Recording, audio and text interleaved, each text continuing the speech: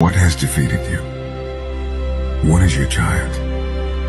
This is the last day you are going to allow this giant to defy you. I know it hasn't been easy. It's time to win.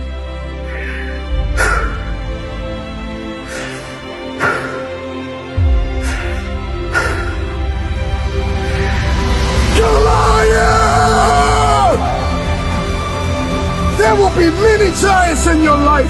Do you buckle under the pressure or will you rise to the occasion? The Bible says that David got up and ran into the army of the Philistines. He ran towards the battle. Run after your goal. Run after it with everything that you have.